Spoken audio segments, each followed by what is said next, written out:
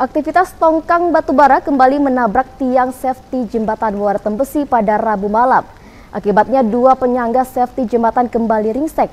Warga pelayangan melakukan blokade tongkang dan melarang melintas jembatan Tembesi sebelum diperbaiki.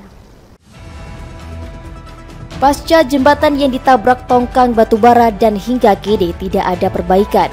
Warga menuntut pengusaha batubara yang terlibat untuk melakukan perbaikan jembatan. Sebelum dilakukan perbaikan, warga menolak lintasan tongkang untuk dilewati. Puluhan warga pelayangan terus melakukan pemantauan pergerakan tongkang batubara. Warga meminta pemerintah Provinsi Jambi sigap menyikapi jembatan ini. Samsul Bahri warga pelayangan mengutarakan kekesalannya. Menurutnya sejauh ini belum ada perbaikan jembatan pasca tongkang batubara yang menabrak hingga tiga kali. Warga mendesak jembatan Tembesi segera diperbaiki sebelum adanya tindakan yang tidak diinginkan. Warga berkomitmen menolak jembatan Muara Tembesi aliran sungai Batanghari dilintasi tongkang batubara. Sudah tiga kali uh, batubara ini tidak pernah, tidak hmm. pernah ada uh, solusi. Kami ya. masyarakat di sini agak kecewa. Sudah tiga kali uh, pengaduan masyarakat tidak pernah diindahkan.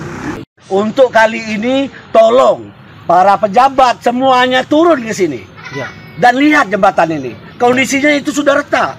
Hmm. Sampai sekarang belum ada. Nah, maksud, maksud kami itu tolong perbaikin maka uh, kami perbolehkan lagi lewat. Namun jembatan ini milik kami jadi. Ya.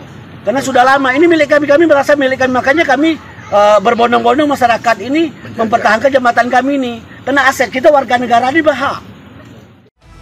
Warga pelayangan mendesak pemilik tongkang batubara bertanggung jawab untuk memperbaikinya. Sebelum adanya perbaikan, warga melarang tongkang batubara melintasi jembatan Buara Tembesi. Selamat Riyadi, Cek TV melaporkan.